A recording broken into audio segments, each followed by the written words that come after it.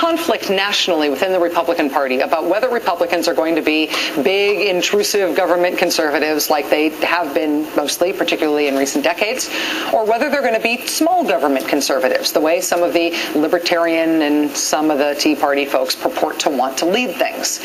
It is a fascinating struggle to watch play out on the national stage, but it is an even more fascinating struggle to watch play out in the great state of Wyoming. Yes, Wyoming. This is a story that is not going to go the way you think it is. I can almost guarantee you that. Uh, so first of all, there's something you should know about the state legislature in Wyoming. This is why the struggle in Wyoming can be seen as a sort of point of illumination for the Republican Party. Here's what the seating chart looks like. Look at this in the state legislature in Wyoming. This is the House and Senate combined. There are 90 legislators in Wyoming. 76 of them are Republicans.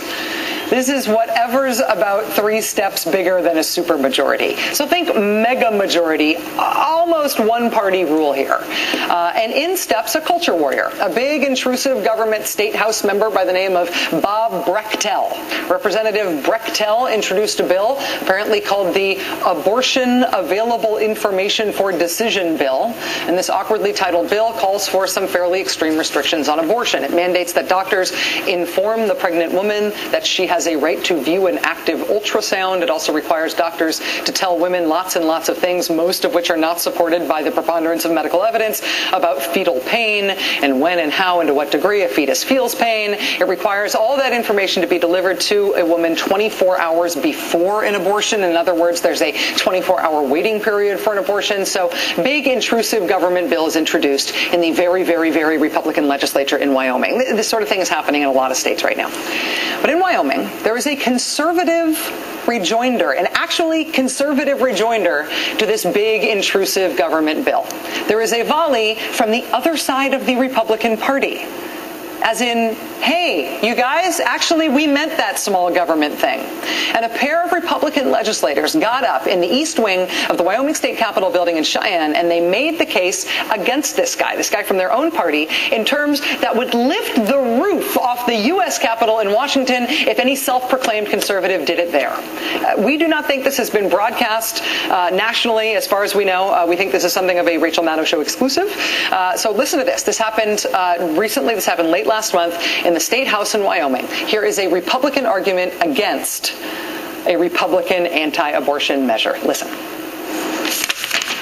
When I go to the doctor, it is the most private thing you can imagine. I want myself, I want my husband, and I want my doctor there. And I don't want any government.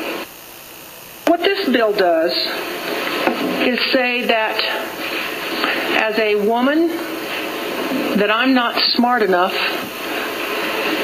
to know the decision that I'm making.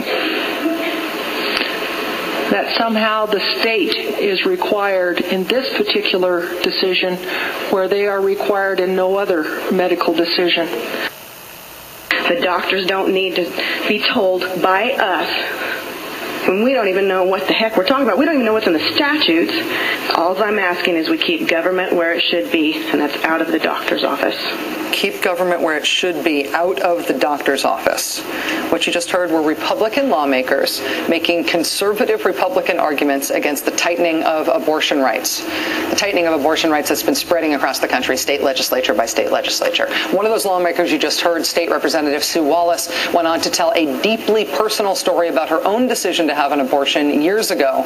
As she explained to her colleagues on the floor of the Wyoming House, she had had a brush with cancer, which had already complicated previous pregnancies and caused her to miscarry once. She was a single mom separated from an abusive partner at the time when she made the very difficult choice to have an abortion. She told all of that to the Wyoming House of Representatives. And then she said this. And the thing I want to make sure you understand is that's just one story.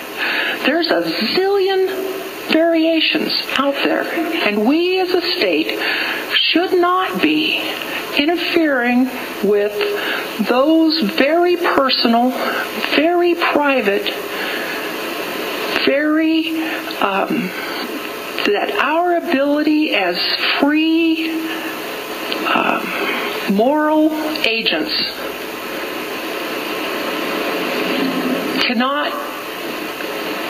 justify um, these these broad strokes.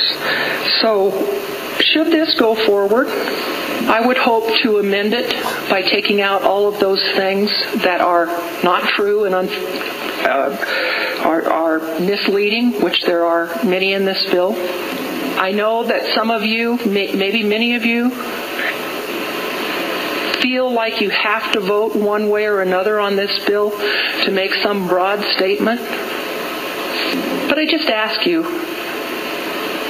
as a human being, as a friend, and as a colleague, not to pass mass judgment on your fellow human beings. That was January 25th. That bill, that anti abortion bill she was arguing against, uh, was defeated. But the fight is not over.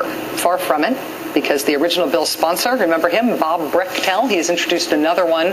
It's called the Abortion Ultrasound Information Bill, very similar to the old bill, the one that just got killed, except he took out all the super scientifically dubious stuff about fetal pain. Uh, the new bill, which again, functionally very similar, is inching toward passage.